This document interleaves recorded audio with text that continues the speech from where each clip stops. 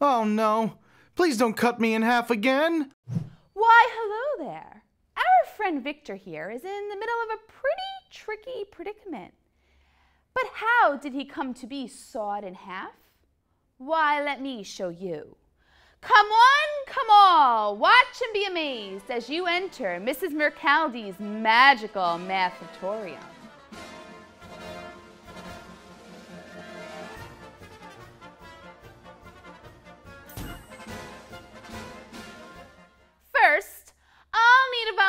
volunteer from the audience.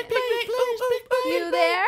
Come on up. Now, first we'll need to place you in the magical array box. How do you feel? Uh, pretty spotty. That's perfect. See, I've turned our volunteer into an array. uh, you know what? I, I don't want to be a volunteer anymore. Too late. Now look here. A perfectly ordinary looking array of seven rows of three discs. Okay, so that's seven times three. Aha, yes, but look again. I've shaded this normal array to show five times three. Hey, that's not magic. You just shaded five rows of three discs. Yes, but now with a wave of my hands.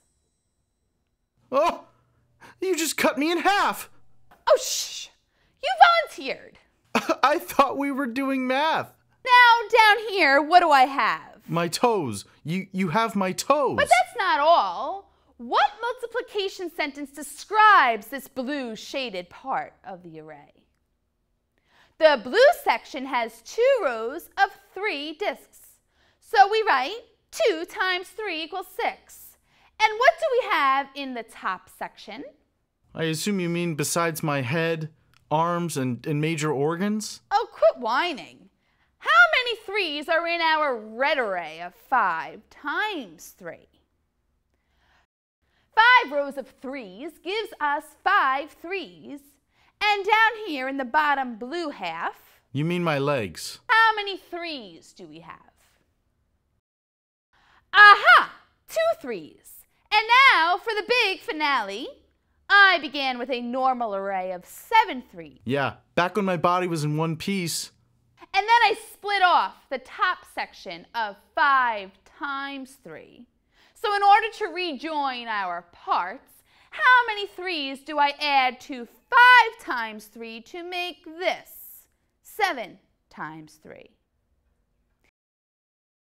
In order to remake the 7 3's, I will take this five threes and add 2 more 3's. So, seven threes is equal to five threes plus two threes. Yeah, yeah, which means 7 times 3 is the same as 5 times 3 plus 2 times 3. C- can I go now? Not yet. In order to open the box, we must first find the total. We already have the totals of our two arrays. What are the totals of 5 times 3 and 2 times 3? 5 times 3 is 15, and 2 times 3 is 6. Now we join our two arrays back together. And what is 15 plus 6? 15 plus 6 equals 21, which means that 7 times 3 is equal to 21. Hey, whoa, my shirt says 21. Told ya I was magic. Now for my next trick. We'll look at this ordinary array of nine rows of three. Nine times three. Well, that can be tricky, but with one wave of my hands, poof, a new row appears. Now we have 10 rows of three. Now, what does this array represent? 10 rows of 3 is 10 times 3. That equals 30. But what can we do to get us back to 9 times 3? 9 rows of 3 is 1 less 3 than 10 rows of 3. 10 threes minus 1 3. And what is 10 threes minus 1 3? We've made our 10th row disappear. And now we're left with 9 times 3 equals 27. See, I knew 9 threes was close to 10 threes and used that fact to find my answer. Now let's take a look at this one. 8 times 3.